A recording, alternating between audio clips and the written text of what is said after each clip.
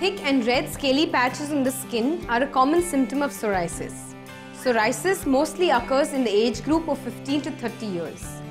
The patches usually appear on the torso, knees and elbows.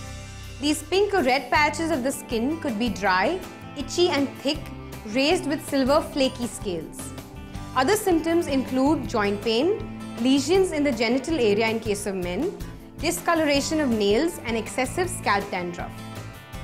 Usually our skin cells grow, die and fall off over a period of one month. However, for a patient suffering from psoriasis, this cycle is reduced to just 4 days. The skin cells do not develop properly and neither do they fall off easily resulting in dry scaly patches. In Ayurveda, there are some simple home remedies which we can use to get relief from the symptoms of this condition. Make a paste of a few cabbage leaves, place it in hot water and allow it to become warm. Apply the cabbage leaves on the affected area and hold it with a clean piece of cloth.